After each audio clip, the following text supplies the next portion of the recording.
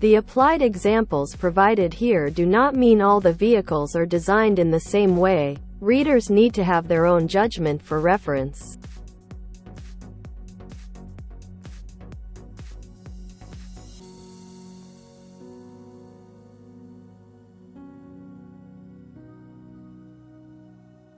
It called torque spring washer.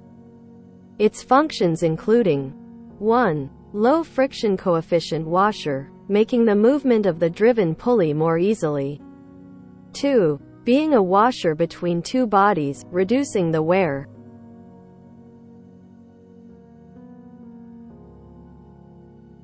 This is a driven pulley, half of which is movable and rotate with a certain angle, just like the animation showed. Open.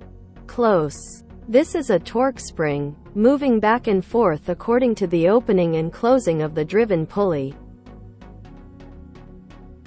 When the clutch is installed completely, the torsion spring is in the installed state, called initial compression or preload compression.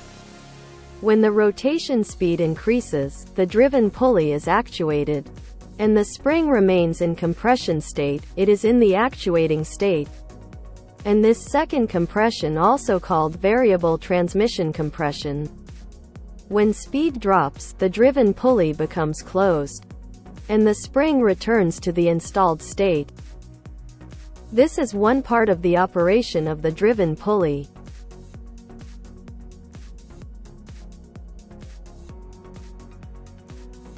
When the driven pulley is activated and the movable driven pulley half is starting to move forward in inner side, a frictional resistance will be generated on the contact surface. Then these two objects will rub against each other. In this way, the centrifugal force of the weight roller is not simply used to overcome the compression force of the torque spring, but also be used to overcome the frictional resistance. So the operation of the driven pulley will have these problems of 1. Need more force for driven pulley operation. 2. The speed transmission is not smooth. 3. Increased wear. 4. The durability of parts adjacent becomes shorter.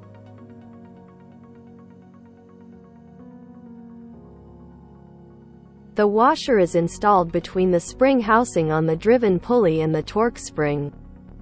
No longer have friction between metal and metal, so the centrifugal force of the weight roller is used to overcome.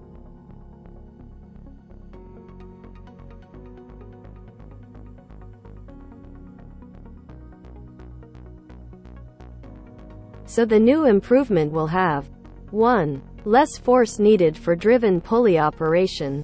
2. The speed transmission becomes smoother. 3. Less wear. 4. The durability of parts adjacent becomes longer.